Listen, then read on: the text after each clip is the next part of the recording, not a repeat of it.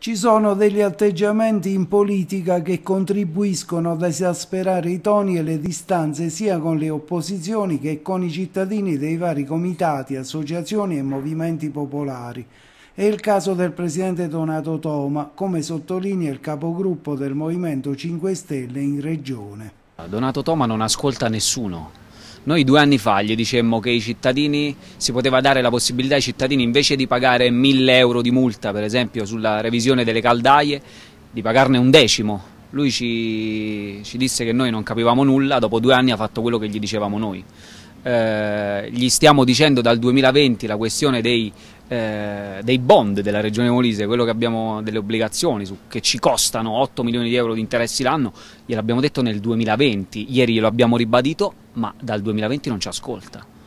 Questo è il eh, concetto, lui non ascolta nessuno e quello che sta facendo il, eh, il suo tour in giro per le amministrazioni, e io l'ho definito il tour di un vacanziere della sanità, perché i problemi, quelli che sono i, ve i veri, i reali problemi del Molise, lui li sa, li conosce molto bene, il problema è che non li vuole risolvere, perché eh, chiaramente risolvere i problemi della sanità pubblica significherebbe efficientarla e significherebbe magari permettere a qualcun altro di eh, evitare che qualcun altro possa, eh, voglio dire, speculare sulla salute. Non si ferma a queste critiche, il consigliere greco parla ancora una volta del viadotto Sente Longo e dell'ospedale Caracciolo di Agnone. Altri due argomenti sui quali se ci fosse stata collaborazione tra le forze politiche, perché a mio avviso poi quando c'è da fare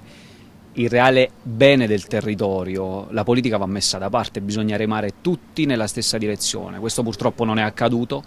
E sul viadotto Sente, dove noi abbiamo reperito 2 milioni di euro per permettere l'immediata riapertura,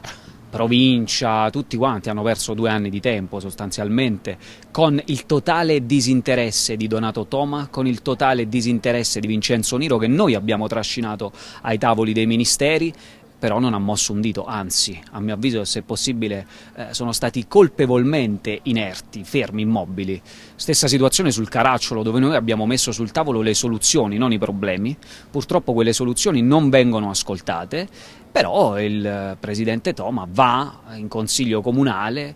a dire cose assolutamente scontate. Sono ormai in Alto Molise sono cinque anni che aspettiamo un attacco cioè nel momento in cui arriverà questa TAC sarà comunque tardissimo, questo è il concetto, e non puoi venire lì per l'ennesima volta a dire ora vi mandiamo la TAC, perché suona come una gigantesca presa in giro.